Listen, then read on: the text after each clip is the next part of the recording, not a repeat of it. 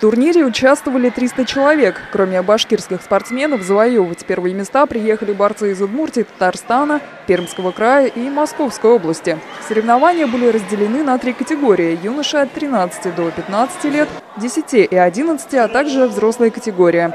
В каждой из них за победу боролись не меньше 30 претендентов. В итоге нефтекамцы завоевали одно первое место, два вторых и четыре третьих. Призеры и победители турнира будут представлять наш город на республиканских соревнованиях, которые пройдут в конце декабря в городе Октябрьский.